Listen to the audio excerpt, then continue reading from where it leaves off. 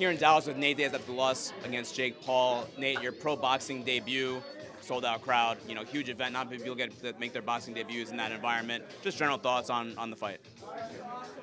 Uh, I don't know. It just it just happened. I don't really know how I feel about it yet. Uh, things could have been, been better in camp. I hurt my arm a little bit, and I didn't want to throw the straight punches and uh, stay on the outside because uh, I didn't I didn't I my arm up. So I wish I could have been trained a little better the last few weeks, last month.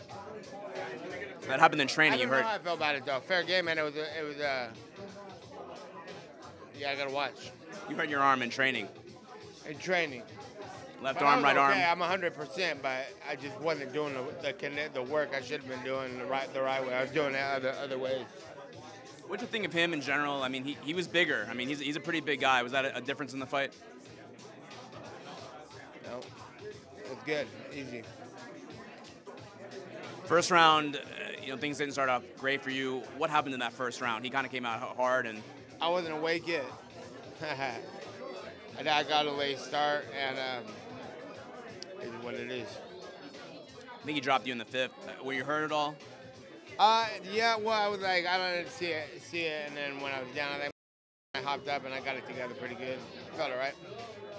Came on pretty strong in the late rounds. I think people thought you would do that because of your cardio. Is that what you expected? Is that what, what you kind of foresaw? No, I, I felt like I was gonna. Uh, could have been in better shape and did some better things.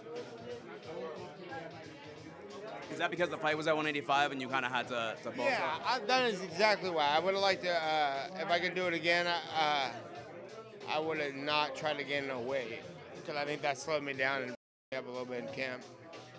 But I, it's also got its benefits too, though. I didn't have to have nights. I got to sit there and eat food all night. So I don't know. I don't have much to say about the fight. I, I want to watch the fight and, and sit and think about how I really feel about it. I have not. I have nothing for you.